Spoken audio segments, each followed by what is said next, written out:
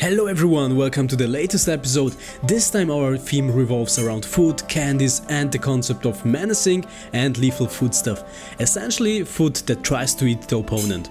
In today's episode we are delving into our green-black Golgari Wilds of Eldraine block deck and what sets this deck apart is not only its unique playstyle but also its consistent art style always intertwined with food and food tokens. Our objective here is to generate as many food tokens as possible to leverage them to our advantage by sacrificing them for various benefits, such as dealing damage, drawing cards, distributing counters and scrying, among many other possibilities. So let's dive in. At the heart of this deck we have Greta, a 3-3 green-black creature for 3 mana. She's incredibly solid and I'm particularly fond of her second ability. For one colorless and one black mana, you can sacrifice a food token to draw a card and card advantage is crucial in any game. And Greta is nothing short of amazing in this regard and it's important to note that we have several cards that produce food tokens, including Greta herself. We have here Tough Cookie, we have also the Witch's Vanity, then we have the Truffle Snout, also welcome to Sweettooth, then we have the Experimental Confectioner, also Feed the Cauldron, Gumdrop Poisoner and Gingerbread Hunter. The two artifacts are also food, uh, here we have Candy Trail for 1 mana and also 3 bowls of porridge and even Tough Cookies uh, food golem that we can sacrifice with Greta for example. Tough Cookie not only creates food tokens but can also transform them into a 4-4 creature for 3 mana with the potential to transform more of them if we have the extra mana. Truffle Snout primarily serves as a food token producer, is essentially an upgraded version of Minstrosity, then we have also Syr Ginger, is one of my personal favorites because it gains plus one plus one counters and allows us to scry whenever we sacrifice food tokens. And this can be incredibly helpful during the game and as long as there's a planeswalk on the battlefield it gains trample and hexproof. We have Gumdrop Poisoner, um, is an upgraded version of Sweettooth Witch and can also deal damage equal to the life gained this turn.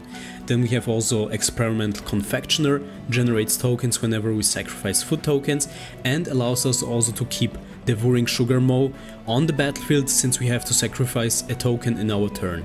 Then we have also Gingerbread Hunter, deals an initial minus 2 minus 2 damage and then upon entering the battlefield grants us with a food token while being a 5-5 creature. As is typical for black-green decks, we have included a huge amount of removal spells. We have here Candy Grapple, can be especially useful for dealing with larger creatures.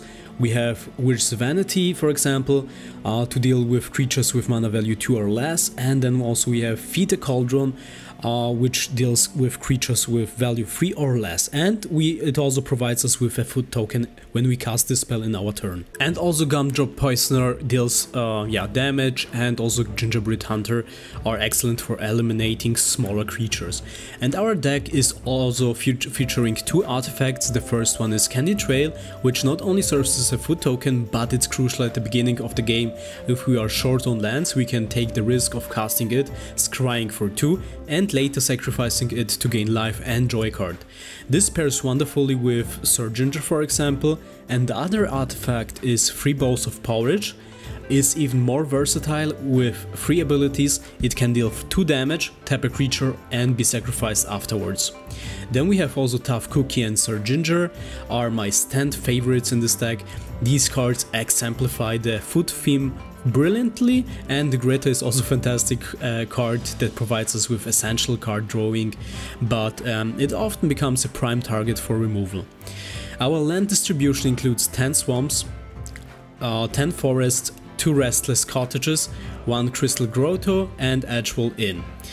Um, yeah and Especially Restless Cottage is an amazing card that can be transformed into a creature for 4 mana and when it attacks it allows us to exile a card from the graveyard and produces food tokens as well.